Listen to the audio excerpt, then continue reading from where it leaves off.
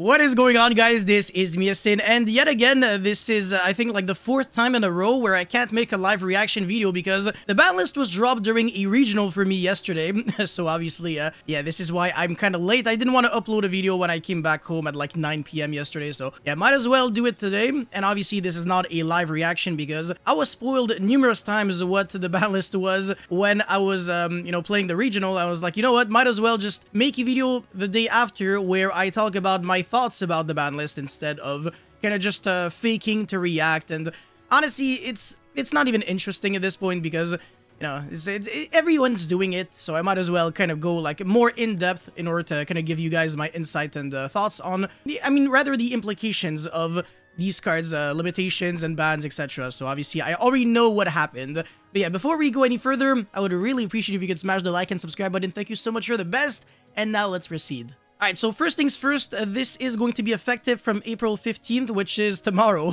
and if you are in uh, Europe, uh, and, I mean, Africa's... Why is this here? It's so random. Anyways, uh, Europe, uh, whatever ME is, and Oceania, this is going to be effective next week. So yeah, if you had regionals planned... Uh, yeah, no, actually, this is not relevant. Anyways, the first card that got banned is Link Linkuriboh, as you can clearly see in the picture. Nah. Uh, good riddance. I mean, this was somewhat predictable. A lot of people uh, thought that Linkuriboh would have gone banned. And yeah, it makes sense. Uh, the card is rather good. It just turns any link uh, level 1 monster into a Link 1 that can be uh, used as a material for SP Lone Knight to give it that banish effect. Even though Relinquished Anima is a really good replacement, Linkuriboh does have that graveyard effect where you can dodge Veiler, Impermanent, stuff like that. And that's what really makes it unfair. Now, at this point, you could also blame the Snake Eyes deck for just being very, very good and abusing Linkuriboh, but to be fair, Linkuriboh has always been abused since the very start, so I just say it's a good thing that Linkuriboh is finally getting banned, even though it is another one of those kind of main character ace cards, almost in a way, similarly to Firewall Dragon, so it is very interesting to see that this is the second big anime card in a way, I think, that is getting banned. So, yeah. Anyways, next up is a Baronne de Fleur, the Omni Negate level 10 Synchro Monster. Again, good riddance. I despise that card. I kept saying multiple times it should get banned. It's way too convenient, way too easy to set up its Omni Negate, and it's just really good in a simplified game state because you also get to return it back to the extra deck, revive back any level 9 lure monster from your grave. You can also destroy cards on the field. It's just overall an ex extremely good card. So yeah, huge... Uh, uh, huge hater of that card, so really happy that it is getting banned. Borreload Savage is somewhat similar but less generic because you do have a, to have a link in the graveyard. It's a little weirder to see because the only deck that was, I mean, now actually a few decks were using Borreload Savage, like Dragon Link as well, but mean, nobody cares, honestly, outside of like the Dragon Link players. Yeah, it's it's not that big, but yeah, Baron see, uh, seeing it banned is really nice. And finally, Summon Limit getting banned feel like a lot of other cards should have also gone banned on top of Summon Limit, like Anti-Spell, but that's the reason why the Limited section exists. So you got Arch Nemesis Protos going from 0 to 1. How big is that? Obviously, if this was a live reaction video, I would have freaked out. I would have been like, oh my god, this is insane. Sword Soul Tier 0, what the hell? Konami, are you kidding me? Realistically, this changes nothing because they lost Baron, so you gotta think, wow, now their, their deck loses to Nibiru, like, really, really hard if they don't try to rush like the Baxian to Chaofeng line, obviously they can still do that. They can still play around Nibiru by just not allowing your opponent to use light effects, and then you can go Proto call Fire by destroying the Link to Tenyi, or call, I don't know, Dark by destroying itself, and obviously it doesn't die, and then your opponent is still locked under Dark. So yeah, I mean, it's obviously a really good card, but you know, it's it's not it's not like Sword Soul is doing anything in 2024 anyways. So yeah, it looks insane, but yeah, you're not really trying to play this card generically either, even though, again, it's, it's a good card again. Uh, Tidal Dragon Ruler of Waterfalls, very easy to predict, absolutely nobody cares whatsoever. It's a very bad card. Again, every single Dragon Ruler is horrendous, like absolute trash. I can't repeat myself enough. The reason why the Dragon Rulers were banned in the first place was not because the Dragon Rulers were good, but rather because Dark Matter Dragon forced them to be to, to, to, be banned. So yeah, it was really just because of Dark Matter, not even because of the Dragon Rulers themselves. The Dragon Rulers, though, they did get limited because of their power level. That's that's a different story. But yeah, Tidal, everything else, they can all go back to 3. Absolutely nobody would care.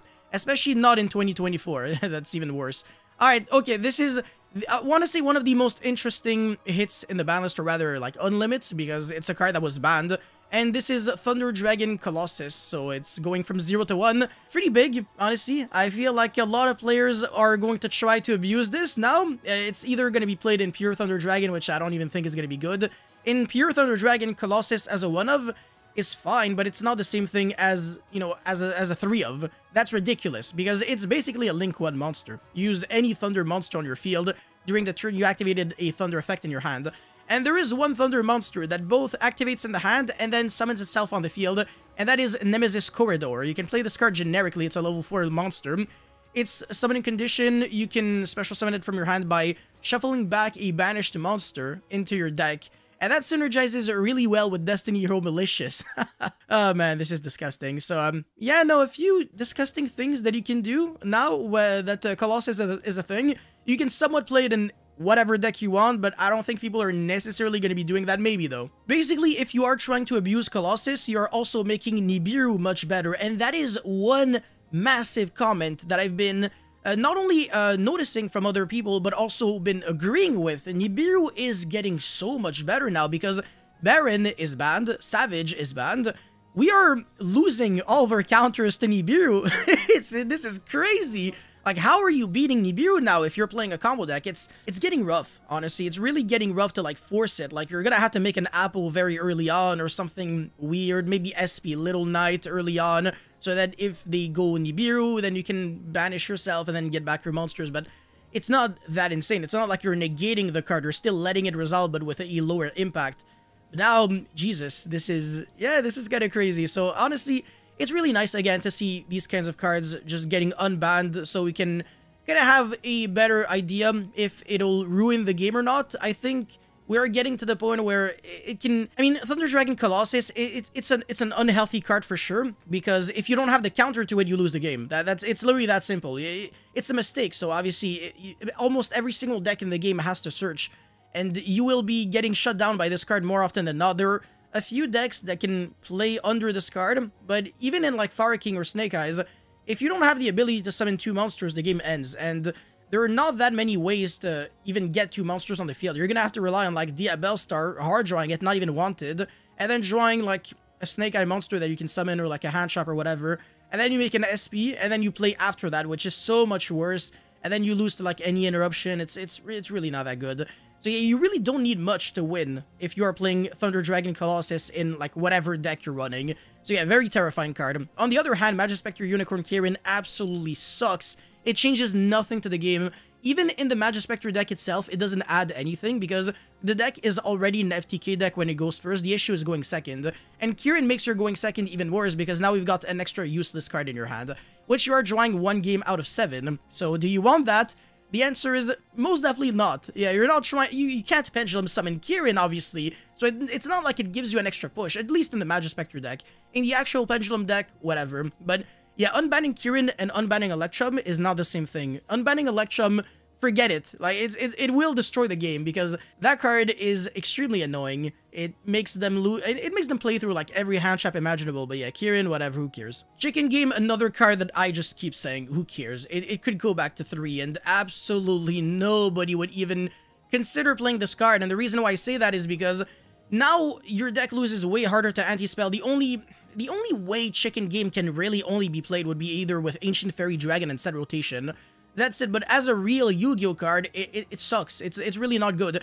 And also, if you can't FTK or make an unbreakable board with Chicken Game, and also replace your chicken game afterwards, you lose the game because now we've got a chicken game on your on your board, and then your opponent draws one card, and then your opponent starts with, with seven cards. So you're basically just almost like transforming one of your opponent's cards in a hand into like a pot of greed. That you're not trying to do that. Uh, giving a pl plus one to your opponent, hell no.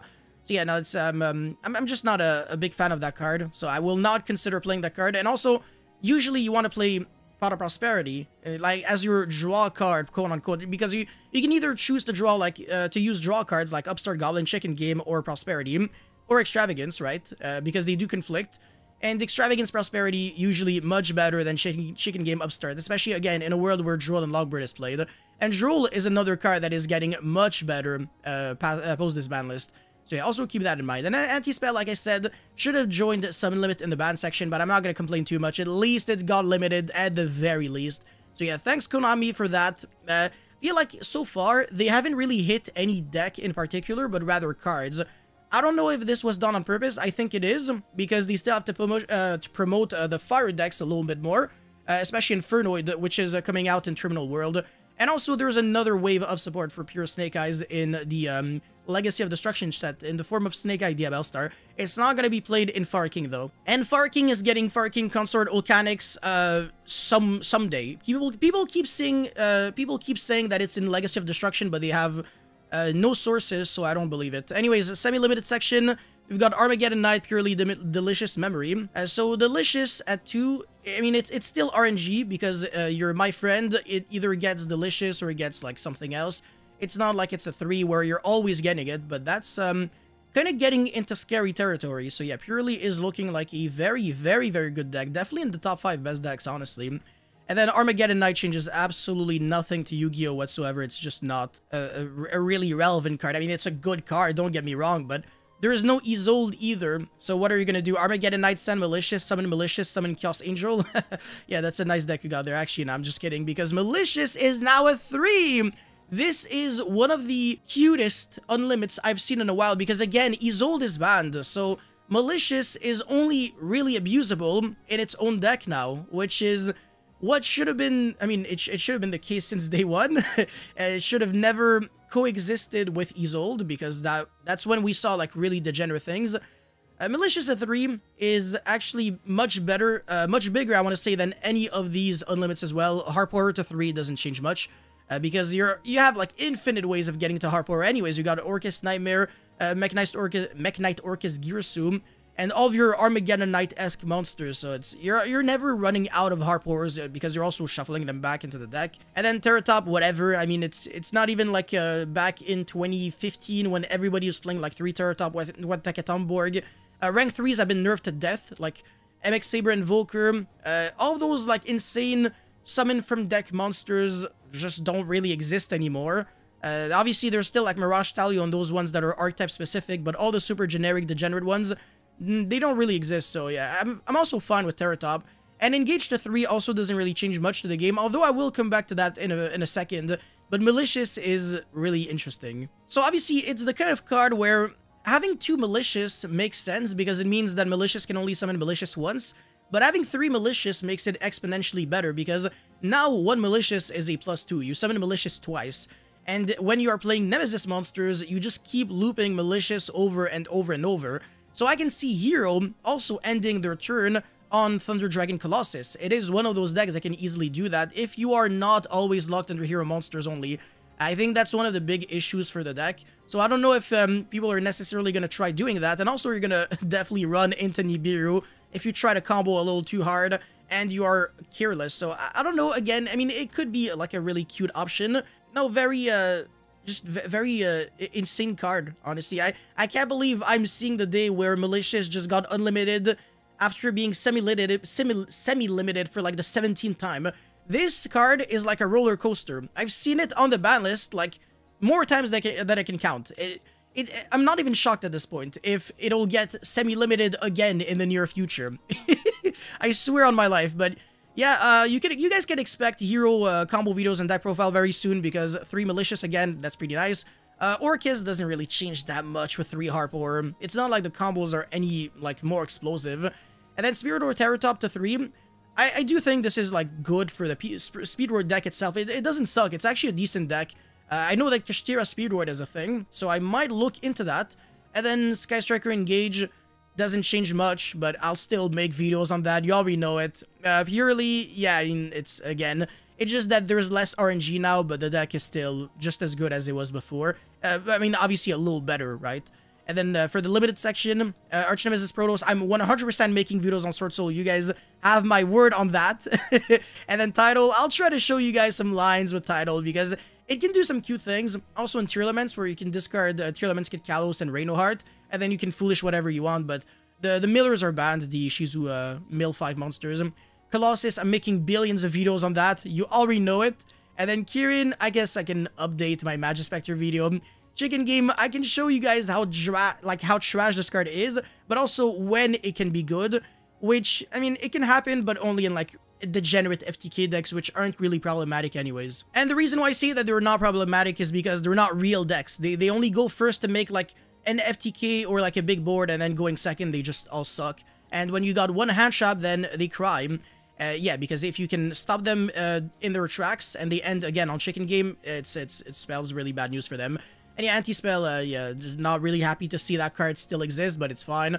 Better draw it. And again, uh, three summon limit and three anti-spell existed uh, this format, and yesterday at my, at my regional, I played none of them. So honestly, I don't really care too much. But as a matter of fact, I'm really happy because now I no longer have to like side removal against every single freaking deck. Every floodgate should get banned. I swear to, I, I, hate them for the bottom of my heart. But yeah, uh, these cards, whatever. Again, good riddance. And finally, Linkuriboh, good riddance again. So yeah, thanks Konami. I, uh, again, understand why they didn't hit any decks in particular.